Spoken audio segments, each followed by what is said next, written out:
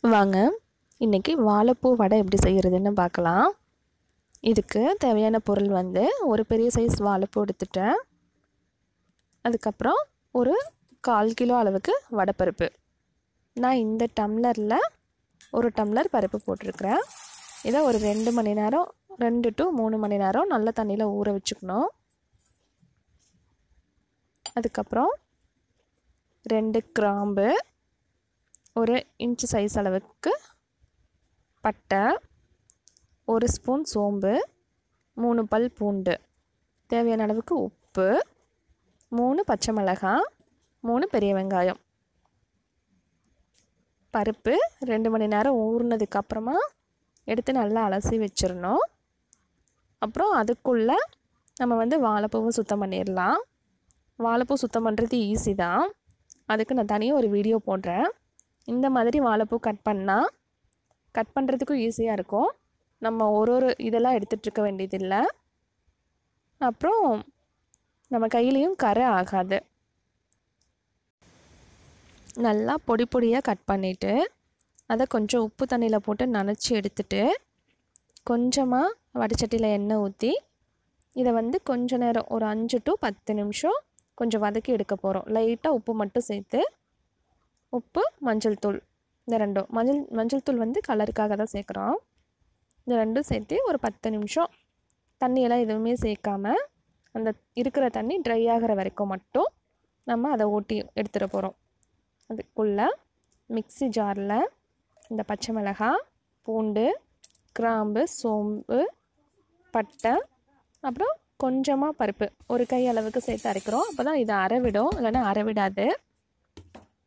இதை போட்டு அரைச்சிட்டு ஏன் இதை மட்டும் தனியாக அரைக்கிறோன்னா எல்லாத்தையும் மொத்தமாக போட்டால் இந்த மிளகா கிராம்பு பட்டை எல்லாம் நல்லா அரைவிடாது. அதனால் ஃபஸ்ட்டு இதை கொஞ்சம் பருப்பு போட்டு ஃபஸ்ட்டு அரைச்சிட்டு அதுக்கப்புறமா நம்ம எடுத்து வச்சுருக்கிற பருப்பு லைட்டாக வதக்கி வச்சுருக்கிற வாழைப்பூ எல்லாத்தையும் சேர்த்து அரைச்சிக்க போகிறோம் வாழைப்பூ வந்து இந்த பதத்துக்கு வதங்கினா போதும். அப்போ துவர்ப்பு வராது அதனால். எல்லாத்தையும் சேர்த்து இப்படி கோர்ஸ் பேஸ்ட்டாக அரைச்சிட்டு ரொம்ப நைஸாக அரைக்காமல் கொஞ்சம் திரி திரியாக இருக்கிற மாதிரி அரைச்சிட்டு அதுக்கப்புறமா நம்ம இந்த மூணு பெரிய வெங்காயம் வந்து சின்ன சின்ன பீஸாக கட் பண்ணிக்கணும். அதை மட்டும் இதோட சேர்த்து மிக்ஸ் பண்ணிவிட்டு நம்ம வடை செய்ய போகிறோம் இதுக்கு வந்து கொத்தமல்லி இலை நான் போடலை. வாழைப்பூ போட்டுருக்கிறதுனால கொத்தமல்லி இலை போடலை. நீங்கள் வேணும்னா போட்டு ட்ரை பண்ணி பார்க்கலாம். அரைக்கும் போதே உப்பு சேர்த்துக்கணும். நல்லா மிக்ஸ் பண்ணி விட்டுட்டு அதை சின்ன சின்ன உருண்டையாக பிடிச்சி நார்மலாக பருப்பு வடை போடுற மாதிரி தட்டி தட்டி போட்டுற வேண்டியது தான் இது ரொம்ப ஈஸியான வேலை தான் நல்லா டேஸ்டியாகவும் இருந்துச்சு. இதில் கஷ்டமான வேலைன்னு பார்த்தா அந்த வாழைப்பூ சுத்தம் பண்ணுறது மட்டும்தான். அது எப்படி கஷ்டம் இல்லாமல் சுத்தம் பண்ணலாம்? கையில் கரையாகாமல் ஈஸியாக கட் பண்ணுறதும் நீங்கள் வேணும்னு நினச்சிங்கன்னா எனக்கு கமெண்ட்டில் வந்து சொல்லுங்கள் நான் கண்டிப்பாக அந்த வீடியோ போடுறேன். கையில் கரையாகாமல் ஈஸியாக கட் பண்ணுற மாதிரி நான் சொல்லித்தரேன் அதை வந்து ஒன்று ஒன்றா ஒரு ஒரு பூவாக பொறுக்கி பொறுக்கி எடுத்து கட் பண்ண தேவையில்லை. அப்படியே பூவோடையே வச்சு கட் பண்ணிக்கலாம்.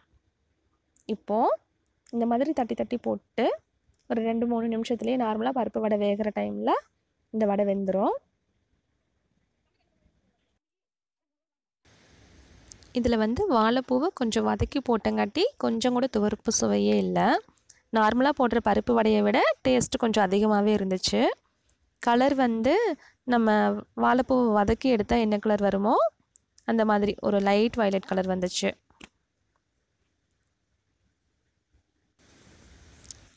லைட் வயலட்னு சொல்ல முடியாது கொஞ்சம் க்ரே கலர் மாதிரி. உள்ளே பிச்சு பார்த்தீங்கன்னா தெரியும் நான் வீடியோவில் காமிச்சிருக்கேன். இது எண்ணெய் கூட அவ்வளோ உறிஞ்சலை. நான் ஊற்றின எண்ணெய் அப்படியே தான் இருந்துச்சு. கொஞ்சமாக தான் குறைஞ்சிருந்துச்சு.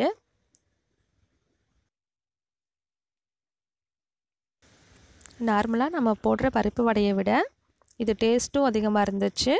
சத்தும் அதிகம். ஸோ மாதத்துக்கு ஒரு வாட்டி இல்லை ரெண்டு மாதத்துக்கு ஒரு வாட்டி கண்டிப்பாக செஞ்சு சாப்பிட்லாம். இந்த வீடியோ பிடிச்சிருந்தா லைக் பண்ணுங்கள் ஷேர் பண்ணுங்கள் அப்புறம் எனக்கு நீங்கள் செஞ்சு சாப்பிட்டு எப்படி இருந்துச்சுன்னு சொல்லிவிட்டு எனக்கு கமெண்ட் பண்ணுங்கள் பிடிச்சிருந்தா சப்ஸ்கிரைப் பண்ணுங்கள் கூடவே இந்த பெல் பட்டனும் ப்ரெஸ் பண்ணிவிடுங்க உள்ளே பார்த்தா இந்த கலரில் தான் இருந்துச்சு. நார்மலாக இந்த வாழைப்பூ வதக்குனதுக்கப்புறமா வரும்ல ஒரு கலர் அந்த கலரில் இருந்துச்சு. தேங்க்யூ